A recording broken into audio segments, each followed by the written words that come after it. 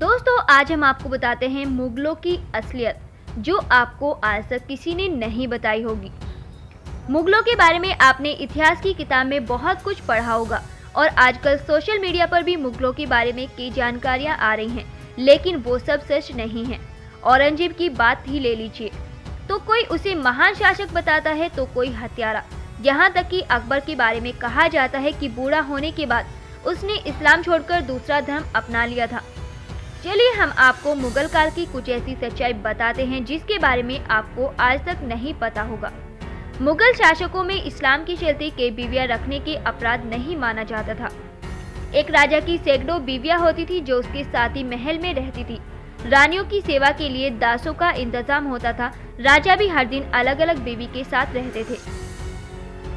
मुगल शासक बाबर के बेटे हुमायूं को अफीम और शराब की लत लग गई थी। लोग कहते हैं कि अपने नशे की वजह से हुमायूं शेरशाह सूरी से हार गया था। शाहजहां के बेटे औरंगज़ेब ने अपने ही तीन भाइयों की हत्या कर दी और राजा बन बैठा था। उसने अपने पिता को भी कैद में रखा था। औरंगज़ेब को मुगल काल का सबसे क्रूर शासक भी कहते हैं। इतना ही नहीं, उसने अपने शासनकाल में संगीत पर भी प्रतिबंध लगा दिया था। ये सच है कि शायद किसी को पता हो जहांगीर कभी भी किसी कनीज अनारकली के प्रेम में नहीं पड़ा था।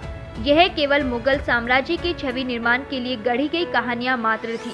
यानी असल में कोई अनारकली थी ही नहीं।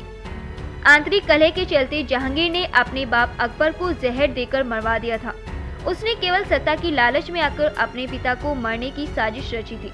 ये सच शायद ही आपको पता होगा। अकबर को डिस्कलेसिया नामक बीमारी थी और इसी वजह से वह जीवन भर अनपढ़ रहा। आगे चलकर धीरे धीरे मौखिक ज्ञान के ज़रिए अकबर ने दीन इलाही धर्म की शुरुआत की और उसके बाद मुस्लिम नहीं रहा।